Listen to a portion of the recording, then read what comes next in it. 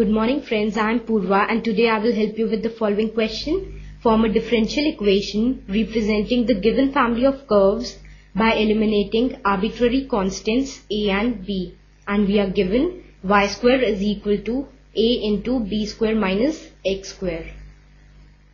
Now as the order of a differential equation representing a family of curve is same as the number of arbitrary constants present in the equation corresponding to the family of curves. So here we shall differentiate the equation two times. So this is the key idea behind our question.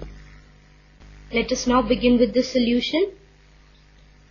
So here we are given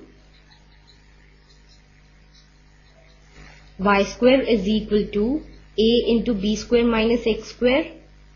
Let us mark this as equation 1.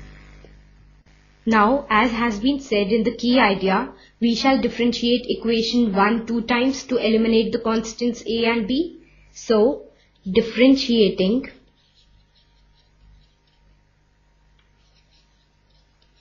equation 1 with respect to x, we get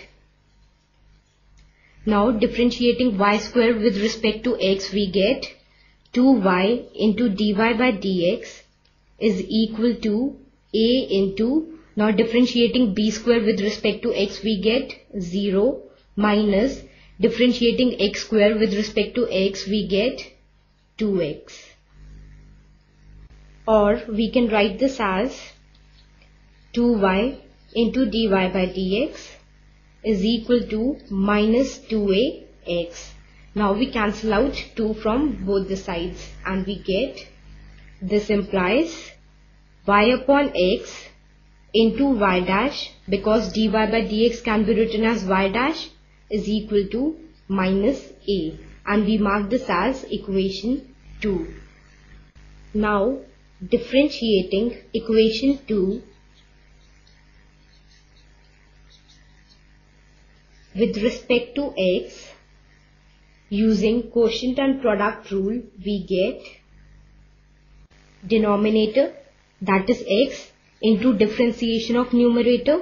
Now in numerator we have y into y dash. So we apply product rule. So we get y into y double dash that is first into differentiation of second plus second into differentiation of first. Now differentiation of y gives y dash minus numerator that is y into y dash into differentiation of denominator so differentiation of x gives 1 upon denominator square that is x square is equal to now differentiating minus a with respect to x gives 0 and this implies x into y into y double dash plus y dash square minus y into y dash is equal to 0 and this further implies x into y into y double dash plus x into y dash square minus y into y dash is equal to 0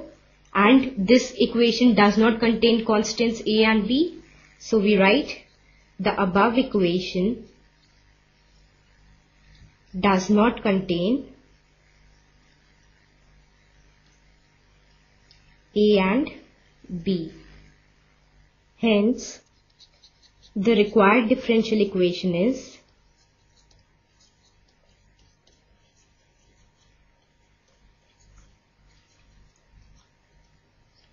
x into y into y double dash plus x into y dash whole square minus y into y dash is equal to 0. This is our answer. Hope you have understood the solution. Bye and take care.